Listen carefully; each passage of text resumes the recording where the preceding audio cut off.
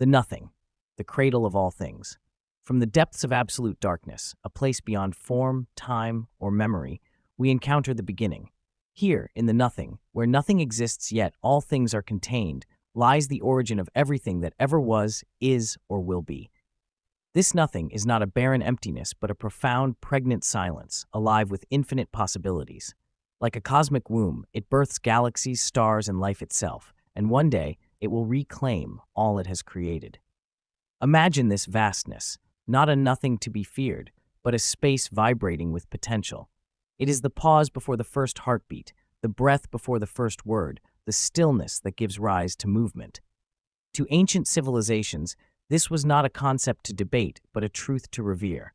They wove it into their myths, their rituals, and the very fabric of their understanding of existence. The nothing, to them, was sacred, a force that shaped the cosmos, the gods, and life itself. But this knowledge, as profound as it was, did not survive unchanged. The cataclysms of history and the march of time buried much of it, leaving behind only fragments of a truth once central to human understanding. How did this happen? And how are we, in modern times, beginning to rediscover what was almost lost? The ancients and the mystery of the nothing. For the ancients, the nothing was not an abstract concept. It was a living presence, intertwined with their understanding of the world and their place within it. They observed it in the cycles of nature, the rising and setting of the sun, the ebb and flow of the tides, the birth, death, and rebirth of life.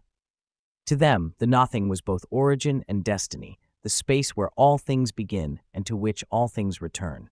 This truth permeated their myths, art, and rituals. Göbekli Tepe, humanity's earliest reverence. One of the most enigmatic remnants of humanity's early relationship, Göbekli Tepe, a ceremonial site in modern-day Turkey, built over 11,000 years ago. This was not a settlement, it was something far greater. Perched on a hilltop, Göbekli Tepe was a sanctuary, a place where humans gathered to honor forces they could feel but not see. Its towering stone pillars, arranged in concentric circles, are adorned with intricate carvings of animals and symbols, each seemingly rich with meaning. The people who built Göbekli Tepe had no wheels, no metal tools, and no agriculture. Yet they labored for centuries, carving and arranging these stones with an intention that transcends mere survival. What compelled them? Perhaps it was their awareness of something greater, a force that gave rise to life, sustained it, and eventually reclaimed it. The circular design of the site mirrors the cycles of existence, suggesting that its builders understood life as a journey from the nothing to being and back again. Göbekli Tepe is a testament to humanity's early spiritual sophistication. Even in a time of material scarcity, these people sought to connect with the unseen.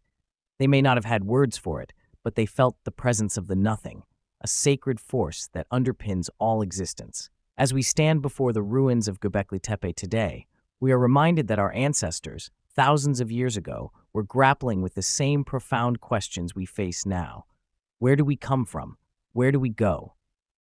The Sumerians, chaos and the birth of the cosmos. Centuries later, as the chaos of the Younger Dryas began to subside, civilizations like the Sumerians emerged in Mesopotamia.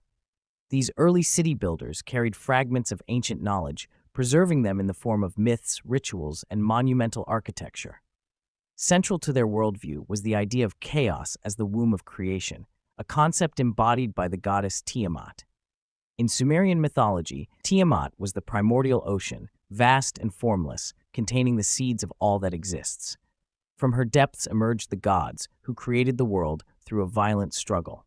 The slaying of Tiamat by the god Marduk symbolized the triumph of order over chaos, but it also reflected a deeper truth that creation and destruction are inseparable. Without chaos, there can be no order. Without the nothing, there can be no life.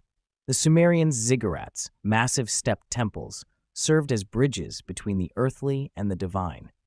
These structures symbolized humanity's connection to the infinite, a recognition that all life flows from the nothing and will one day return to it. Inside these temples, priests performed rituals to maintain balance, ensuring the continued flow of life from the unseen into the visible world. For the Sumerians, chaos was not something to be feared, but something to be honored. Their myths remind us that the nothing is not a void at all, It is a space of infinite potential, a place where the seeds of creation lie waiting. Egypt, the infinite waters of Nun. While the Sumerians saw chaos as a force to be tamed, the Egyptians embraced it as a harmonious presence. To them, the nothing was not a battlefield, but a sea of infinite potential. They called it Nun, the primeval waters that surrounded and permeated all things.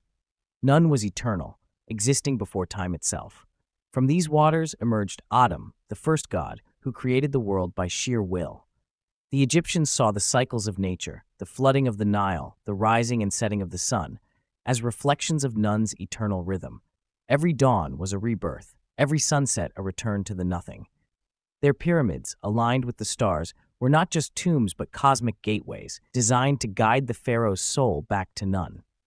Death to the Egyptians was not an end but a transformation, a return to the source, the infinite ocean from which all life arose.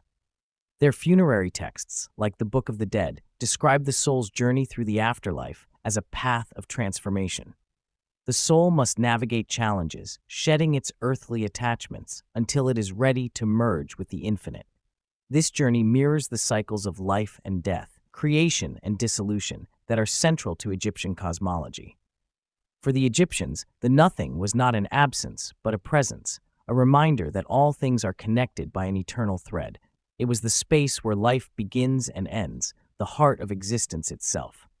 Eastern perspectives, Shunya and the Tao. While the Sumerians and Egyptians built monuments to honor the nothing, civilizations in the East turned inward, exploring its presence within the human mind and the natural world. In ancient India, the concept of the nothing was expressed through the word shunya, meaning zero or emptiness. But to the Indian sages, shunya was far from an absence. It was fullness, an infinite space of potential from which all things emerge. In Hindu philosophy, this emptiness was closely tied to Brahman, the ultimate reality that underlies all existence. Brahman is described as formless, eternal, and unchanging, a force that is everywhere and nowhere at once. For the ancient mystics, shunya was not merely a concept to ponder, but an experience to be realized. Through practices like meditation and yoga, they sought to quiet the mind, peel away the illusions of the material world, and touch the nothing within. Later, Buddhism expanded on this understanding with the concept of sunyata, or emptiness. The Buddha taught that all things are interconnected and impermanent, arising and dissolving like waves on an infinite ocean. Enlightenment, he said, was the realization of this truth that the self is an illusion and all distinctions are constructs. By letting go of attachment and desire, one could return to the stillness of the nothing, a state of profound peace and liberation.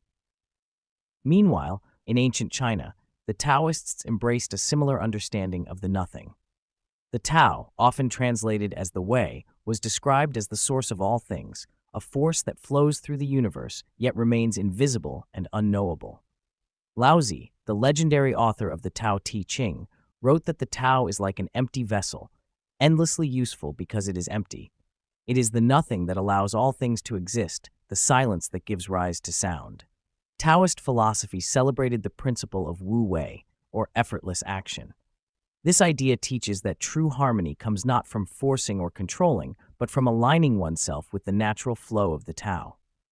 Like a river moving around rocks, the Taoist sage embraces the nothing, allowing it to guide their actions with grace and simplicity. In this way, the Tao reflects the same truths as Shunya and Sunyata, that the nothing is not separate from life, but is its essence. The younger Dryas, cataclysm and loss.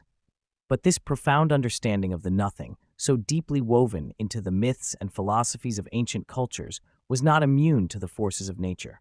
Around 12,800 years ago, as the Earth transitioned out of the last ice age, the planet was rocked by a sudden and catastrophic event, the Younger Dryas. Glaciers surged, temperatures plummeted, and ecosystems collapsed, Forests withered into deserts, fertile lands froze, and rising sea levels swallowed coastal regions.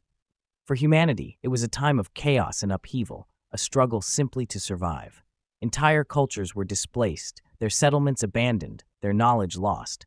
Oral traditions, sacred rituals, and philosophical insights that had been passed down for generations were interrupted or erased. The great truths of the nothing, once central to human understanding, began to fade into obscurity. Yet, not all was lost. In places like the Fertile Crescent, where humanity clung to life, fragments of this ancient wisdom endured. Sites like Göbekli Tepe, built just after the Younger Dryas, suggest that early humans were determined to preserve their connection to the sacred, even in the face of unimaginable hardship. These early monuments became vessels of memory, carrying forward the essence of the nothing in symbols and structures that would inspire future civilizations. The Younger Dryas serves as a reminder that knowledge, no matter how profound, can be fragile. It also reminds us of humanity's resilience, our ability to adapt, rebuild, and rediscover the truths that connect us to the infinite. Modern rediscovery, the nothing in science and spirituality today, as we look to the stars and delve into the smallest particles of matter, we are beginning to rediscover what the ancients intuited that behind all things lies an infinite nothing. Modern science, with its telescopes, particle accelerators, and equations, has revealed a universe that mirrors the mysteries of the past. In the realm of quantum physics, we find a startling parallel to the concept of the nothing. Scientists have discovered that particles, the building blocks of matter, blink in and out of existence, emerging from what is often described as a quantum field, an invisible space of pure potential. This quantum field, much like the nothing, is everywhere and nowhere, containing the seeds of all that exists. Cosmology, too, echoes ancient wisdom. The Big Bang Theory, which describes the origin of the universe, tells us that everything we see today, every star, every galaxy, every atom, emerged from an infinitesimally small point of infinite density. This primordial state, often compared to nothingness, was the beginning of time and space, the moment when the potential of the nothing burst into being. In neuroscience and mindfulness, we find yet another rediscovery of the nothing. Practices like meditation, which have been used for millennia to quiet the mind, reveal that beneath the noise of thought lies a profound stillness, a nothing that is not empty, but alive with awareness. Mystics and scientists alike have noted that this state of stillness mirrors the nature of the universe itself infinite, interconnected, and ever present. As we connect these modern discoveries to the wisdom of the ancients, a remarkable picture begins to emerge. The nothing is not a relic of the past or a concept confined to temples and myths. It is here, now, woven into the fabric of existence. It is the silence behind the noise, the stillness beneath the chaos, the infinite potential that waits patiently for us to notice. Rediscovering the nothing across centuries and continents, through shifting sands of time and the rise and fall of civilizations, one truth has endured, quietly waiting in the spaces between words and in the pauses of history. The nothing is the essence of all existence. It is not a void to be feared, but a force to be embraced.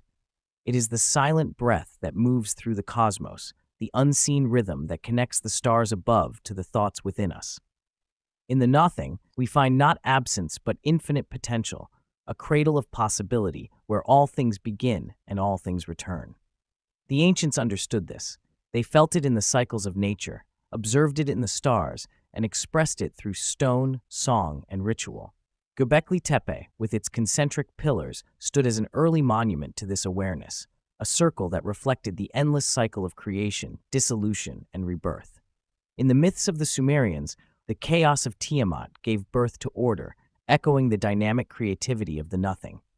The Egyptians revered the waters of Nun, eternal and alive, flowing with the rhythms of life and death. And in the East, the meditations on Shunya and the Tao revealed the profound stillness that underpins all movement. These civilizations spoke different languages, worshiped different gods, and lived in different worlds, yet they shared a common truth. The nothing is the source. It is not an idea to be captured, but a presence to be experienced, a force that flows through us, connecting the individual to the infinite. But time has a way of burying what is sacred. The great cataclysms of history, like the Younger Dryas, fractured humanity's connection to this truth. As survival became paramount and the world changed, the wisdom of the ancients receded into whispers, fragments of a once shared understanding. The monuments remained, but their meanings grew faint, like echoes of a song we no longer know how to sing. And yet the nothing is not lost. It cannot be. It is always here, in the stillness of a quiet morning, in the spaces between our thoughts, in the vastness of a starry night. Today, as science peers deeper into the fabric of reality and spirituality calls us inward, we are rediscovering what the ancients knew. The nothing is not separate from us, it is the essence of who we are. Conclusion Embracing the eternal mystery. The journey of humanity is a journey into the nothing. It is where opposites converge, where chaos gives rise to order, where death nurtures life, where silence becomes sound. The nothing is not merely an end, it is a beginning. It is the canvas on which the universe paints itself, the thread that weaves through every breath, every moment, and every star. What does this mean for us now? It means we are not only observers of the nothing, but participants in its endless cycle of creation and return. When we quiet our minds, when we pause and listen, we can feel its presence within us. It is the stillness behind the noise, the silence beneath the chaos, the infinite potential that waits patiently for us to notice.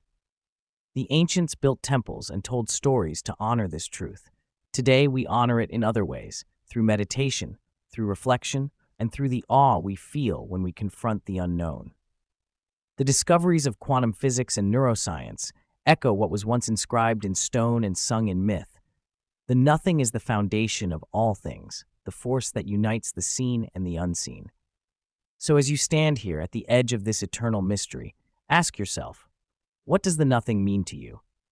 It is not something to be understood or explained, but something to be felt, to be known in the quiet spaces of your being. It is the cradle of creation and the destination of all journeys. It is the silence before the symphony, the breath before the word, the infinite within the finite. The nothing is waiting. And in that stillness, you might find what you have always been seeking a connection not only to the universe around you, but to the universe within. The nothing is not separate from you, it is you. It is the thread that connects all things, the rhythm that beats through every heart and every star. From the nothing we come, and to the nothing we shall return. And in that eternal cycle, we are infinite.